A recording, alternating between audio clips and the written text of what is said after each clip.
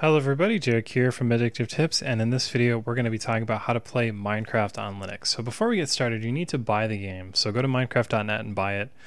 Click on the download button, and when you get there, scroll down for download Minecraft for another device, click Linux, click the download button, and download the jar file. You're going to also want to head to the description because you need to have Java. Uh, we cover how to install the Java runtime environment as well as uh, other alternatives, please check that out so that you can get it going. Once you've got both of those things, you can go to the terminal.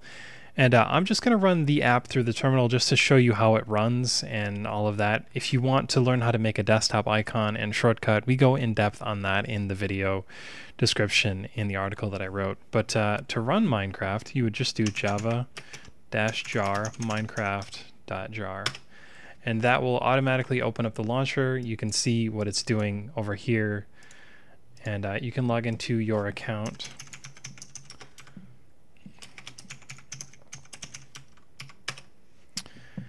Once you click the play button, it's going to download everything that it needs to run the Minecraft game. So all of these files are going to be going directly to the .minecraft folder.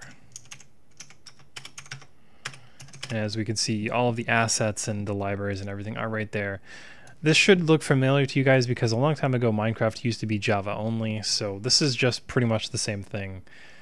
Uh, and once everything is downloaded, which is, is going to take a while because it's going through and getting all of the necessary files. Uh, once it's got all the necessary files, we can open it up and start it up and we can play the game.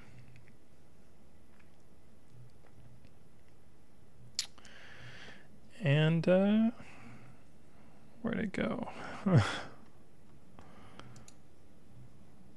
I think it's finally running the launcher, you guys. So, some of you may not know, but the way that the Minecraft launcher works is you download it, you open it up with the downloader, and then it will close and open up another window. So, this isn't it crashing because if it was crashing, you'd be able to see it crashing. So, we'll just have to wait a second. So now we see that Minecraft is... So now we see that Minecraft is running. We can just click the single player button and uh, press F11, full screen it, and just start playing. I'm just going to start a quick world just so that you can see that it actually does work on Linux and you can play the game. And uh, here we go. We are playing Minecraft. So uh, a little bit of a different video than you guys might be used to, the technical tutorials.